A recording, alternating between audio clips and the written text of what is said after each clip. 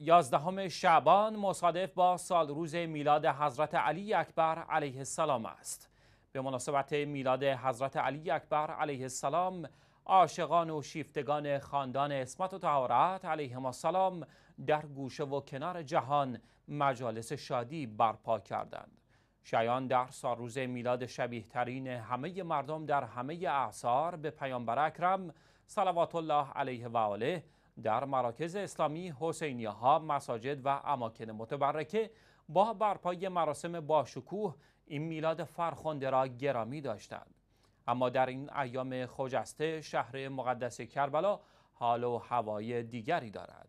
شیعیان از ملیت‌های مختلف همچون شیعیان عراق خود را به شهر مقدس کربلا رساندند و این میلاد با برکت را به پیشگاه حضرت سید الشهدا علیه السلام تبریک گفتند و با برپای مراسم شادی به اقامه و احیای شاعر حسینی پرداختند.